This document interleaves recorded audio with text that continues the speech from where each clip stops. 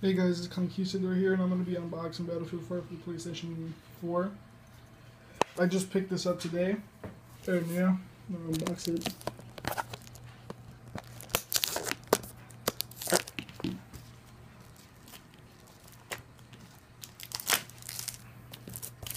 I'm really looking forward to this game. My brother actually picked it up for the Xbox One, and I wanted to pick it up for the PS4. I know this is this game is going to look amazing on the PS4.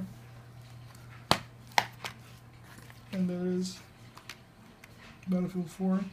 I've been actually really looking forward to getting this game. and now that I got it, I'm gonna really play this. The thing is, I don't have PSN.